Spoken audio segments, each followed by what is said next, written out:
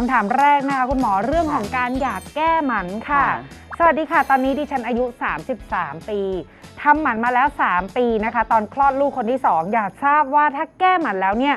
นานแค่ไหนถึงจะมีโอกาสท้องอีกคะอืมแสดงว่าในคุณผู้หญิงท่านเนี้ยน่าจะทำหมันเปียกหรือเปล่าคะอืมเพราะว่าถ้าเกิดทำหมันเปียกนี้หมายถึงว่า หลังจากที่คลอดบุตรไปแล้วเนี่ยภายใน 6 สัปดาห์เนี่ยก็มีการทำหมัน อันนั้นครับเรียกว่าหมันเปียก แต่อย่างในรายเนี้ยไม่แน่ใจว่าเขาทำหมันเปียกหรือหมันแห้ง ไม่ได้ค่ะบอกมาด้วยค่ะไม่ได้บอกมานะคะทีนี้เราต้องต้องทำความเข้าใจก่อนว่าการทำหมันเนี่ยปกติแล้วสูติแพทย์เนี่ยเวลาทำหมันเนี่ยเราไม่ได้ต้องการที่จะให้ต่อหมันครับอันนี้ส่วนใหญ่แล้วจะเป็นแบบนั้น ทีนี้การทำหมันเนี่ยต้องต้องมาเข้าใจก่อนว่า ก็คือการผูกท่อนำไข่นะคะมันก็จะมีวิธีการทำก็ถ้ากรณีที่ทำหมันเปียกเนี่ยก็คือทำหลังคลอดเนี่ย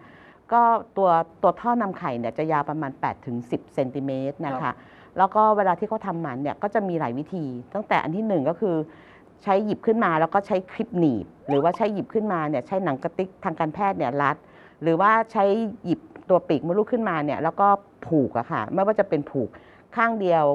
ข้างเดียวเนี่ยจะผูก 2 อันแล้วก็ตัด แล้วก็บางคนก็จะใช้ไฟฟ้าจี้โอ้ใช่ไหมคะ สนิทเลย ใช่ค่ะก็คือแบบอย่างที่บอกอะค่ะว่าไม่ได้ต้องการให้ต่อหมันในค่ะโดยเบื้องต้นน่ะนะคะ หรือกรณีที่บางทีหยิบขึ้นมาเนี่ยแล้วก็ใช้แบบผูกอะค่ะ ใช้ผูกแล้วก็ผูกขาเดียวนะคะ แล้วก็ใช้ตัดแล้วก็ใช้ไฟฟ้าจี้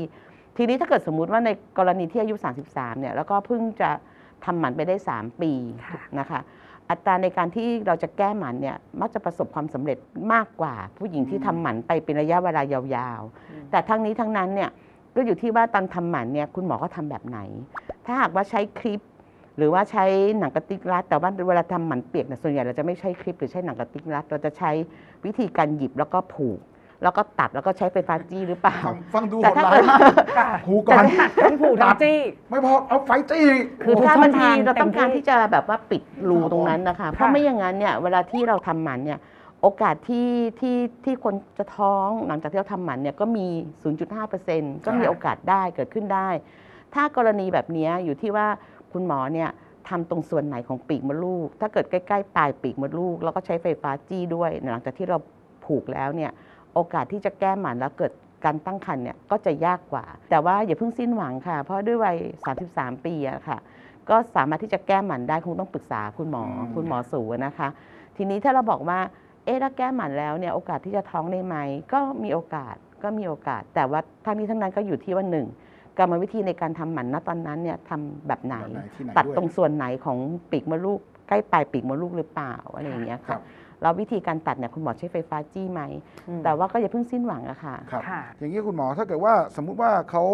อ่าต่อหมันได้แล้ว ค่ะ สามารถที่จะมีลูกได้เลยไหมหรือว่าต้องรอในการพักฟื้นของมันอีกนานสักแค่ไหน อ๋อค่ะ แล้วเราสามารถที่จะผสมเทียมได้ไหมในในกรณีค่ะ ทำหมันถ้าเรากรณีที่ว่าเราต่อหมันนะคะ อย่างน้อยเนี่ยก็ต้องพิสูจน์ก่อนว่าสิ่งที่เราต่อหมันแล้วเนี่ยประสบความสำเร็จไหมครับ ก็คืออย่างน้อยเนี่ยก็รอไปประมาณ 2-3 เดือน หลังจากที่เราต่อหมันแล้วนะคะค่ะ แล้วสูติแพทย์เนี่ยก็จะทำการฉีดสีผ่านทางช่องคลอด แล้วก็เอ็กซเรย์ดู อืมดูซิว่าสีที่เราฉีดผ่านตรงช่องคลอดเนี่ย แล้วสีนั้นน่ะโฟล์ไหลไปที่ปีกมดลูกจนกระทั่งถึงปลายทางหรือเปล่า ค่ะ เราคงต้องดูค่ะว่าการต่อมันนั้นเนี่ยสำเร็จไหม ครับ แต่ถ้าเกิดสมมุติว่า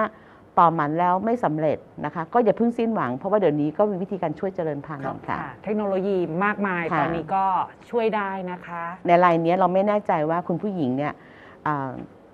ทำหมันด้วยวิธีด้วยว่าหมายแบถึบงว่าแห้หลังงหรือแบบเปียกหลังใช่ไหมเอ่คะอหลังคลอดทันทีแบบมันจะเป็นการทำหมันแบบว่าหมันเปียกถูกไหมคะอืมแต่ถ้าเกิดกรณีทำหมันแห้งเนี่ยการทำหมันแห้งเนี่ยก็จะคล้ายๆ กันกรรมวิธีก็จะคล้ายๆ กันเพียงแต่ว่า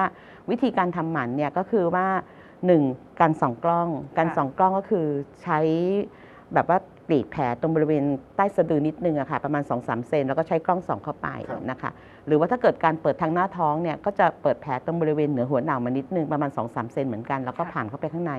แต่ก็จะมีอีกวิธีหนึ่งนะคะสำหรับคนที่อยากทำหมันนะนะคะ แถมนิดนึงว่าการทำหมันแบบไร้แผลอืมการทำหมันแบบไร้แผลเนี่ยก็คือว่าการสอดเครื่องมือเข้าไปในช่องคลอดนะคะ แล้วก็